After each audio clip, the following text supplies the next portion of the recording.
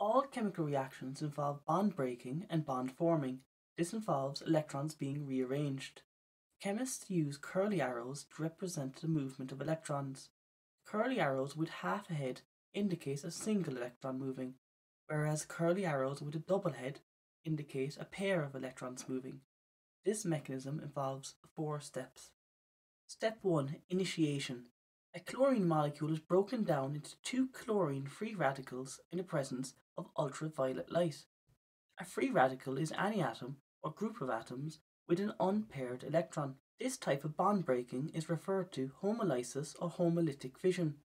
This means the breakdown of or splitting of a molecule into parts of the same type. This type of reaction is an example of a photochemical reaction. Step 2 Propagation 1 The chlorine free radical attacks the methane to form methyl free radical and hydrogen chloride. Note, we call HCl hydrogen chloride and not hydrochloric acid, as hydrogen chloride is a gas, and it is a gas that is produced here. Step 3 Propagation 2 The methyl free radical attacks the chlorine molecule to form chloromethane and a chlorine free radical. The chlorine atom here can react with another methane, as in step 2. Step 2 and 3 are classed as propagation stages because they keep the chain of reaction in operation to form chloromethane. Step 4 Termination.